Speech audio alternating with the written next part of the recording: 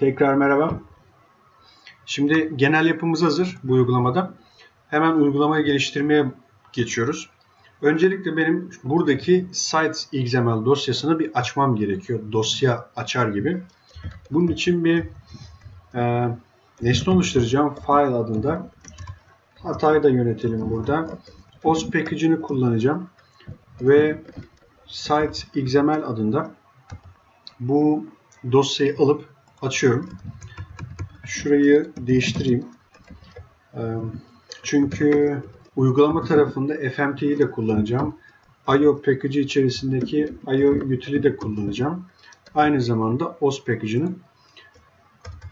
Ve bildiğiniz gibi hata yönetim işlemlerini yapmamız gerekiyor burada. Bunu yaparken de print f diyorum. Eğer hata olursa diyorum benim elimdeki ERR nesnesini burada hata nesnesi olarak kullan ve ekrana yaz. Ve eğer benim elimdeki işlem yani bu main scope'u bittiğinde bu file nesnesini kapat. Bu sayede kaynakları serbest bırakmış oluruz programatik olarak. Read all diyorum. Read all içerisinde e, ben file nesnesini veriyorum buna.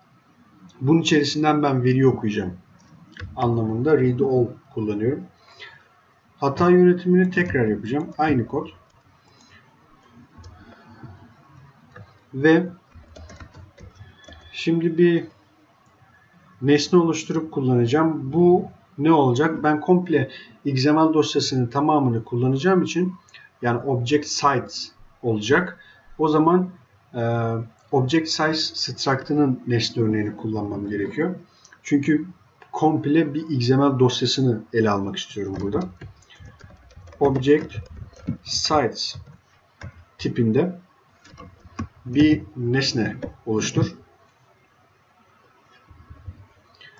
Ve burada XML yukarıdaki encoding'in altındaki XML package'ini kullanarak unmarshal işlemi yapıyorum. Unmarshall'da diyorum ki sana datayı vereceğim. Data neydi? Benim e, sites.xml dosyası içerisinde okuduğum veriydi. Data. İlk parametre olarak onu veriyorum ve diyorum ki bir de benim elimde object sites tipinde v adında bir nesne var. Nesne örneği var.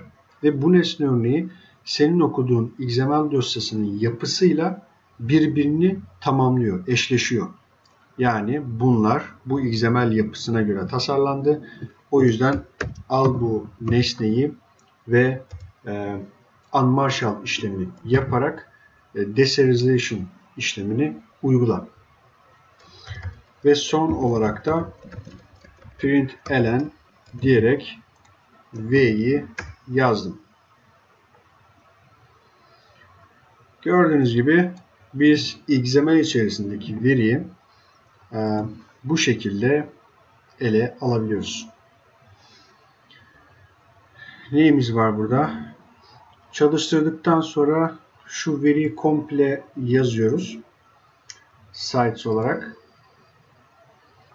Ondan sonra bunu bir XML yapısı olarak şu şekilde görebiliyorsunuz. Size bu konuyla ilgili araştırma ödevi olarak da bu videonun sonunda şunu söyleyebilirim. Pratik yapmanız amacıyla. Ee, bu videoda bu anlattığım yerde bu veriyi aldıktan sonra e, biz unmarshal işlemini yapıp deserialization yapıyoruz. Sonrasında mesela şöyle yapabilirsiniz. Bu web sitelerinden bir tanesinin verisini programatik olarak değiştirip tekrar aynı sites.xml dosyasına kaydedebilirsiniz. Mesela aldınız. E, ben aldım bu veriyi hafızaya ve programatik olarak da bunu tutabiliyorum.